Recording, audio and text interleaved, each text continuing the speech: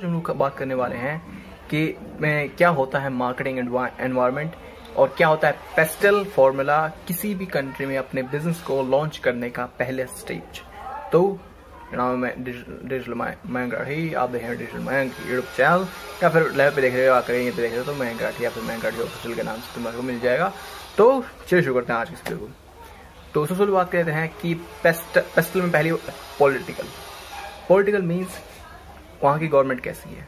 क्या वो गवर्नमेंट ऐसी है जो स्टार्टअप्स को सपोर्ट करना चाहती है? क्या वो गवर्नमेंट ऐसी है जो अपनी ही चीज़ें मार्केट में उतार के वहाँ के स्टार्ट ऑन्टरप्रनोर्स को निगल जाना चाहती है? एग्ज़ाम्पल के तौर पर चाइना चाइना की बहुत सारी बड़ी बड़ी जो कंपनीज़ उनके ऊपर ये एलिगेशन लगते रहते हैं कि वो लोग जो है, वो गवर्नमेंट आइडियाज़ चुराती है उन दूसरे ऑन्टरप्रीनियोर से और अपनी कंपनी वहाँ पर लॉन्च कर देती है और उसको बता देती है प्राइवेट लिमिटेड इवन दो वो एक चाइनीज़ गवर्नमेंट फंडेड कंपनी होती है। दूसरा आता है इकोनॉमी लोग इकोनॉमिकली वहाँ पर जीडीपी पर कैपिटा इनकम सीधी।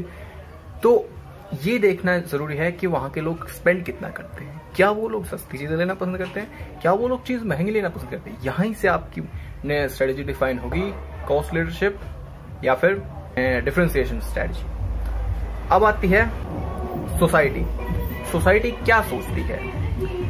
क्या सोसाइटी ये सोचती है कि ए, कैसी कैसी सोसाइटी की सोच है? क्या सोसाइटी बहुत जल्दी ट्रिगर हो जाती है? लाइक like, अगर हम बात करें चाइना में तो वहाँ पर रेसिस्ट लोग हैं। अगर तुम उनको ये कभी भाई साहब तू चमगादड़ कौन खाता है? तो वो लोग उस चीज़ को ऑफेंड ले हैं। लेकिन अगर यही बात तुम जो यूएस में या फिर इंडिया में या कहीं पर भी कहोगे तो लोग उस चीज़ को मान लेंगे। तो ये यहाँ पर आते हैं सोशल फैक्टर्स के ऊपर। तीसरा आता है टेक्नोलॉजी। जो टेक्नोलॉजी है वो कैसी है? वहाँ के लोग टेक्नोलॉजी के लिए कितने एडवांस है?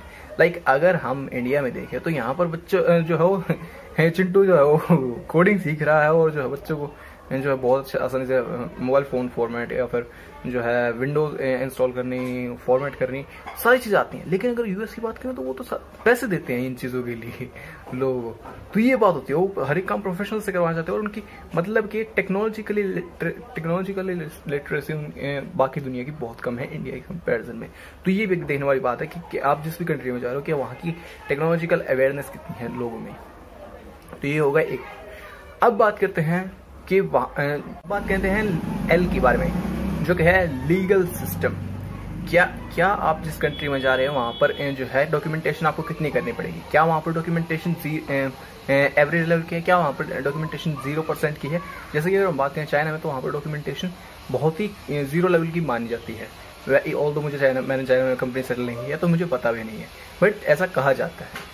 और बात करें यूएस में और यूरोप में, वहाँ पर भी यही हिसाब है। लेकिन अगर अपने इंडिया में आएँगे तो यहाँ पर भी अभी जो 2000 इकोनॉमी रिफॉर्म के बाद में, वहाँ पर भी चीज़ें बहुत ही जल्दी जल्दी अच्छी की गई थी। तो ये बात है। ये हमने पेपर वर्क को काफ़ी डिक्रीज किया था इकोनॉमी रिफॉर्म आने के बाद। अब बात आती है इकोलॉजी फैक्टर की। ये सबसे इम्पोर्टेंट है। अगर आप किसी जो है प्रोडक्ट बेस्ड इंडस्ट्री में आते हो तो।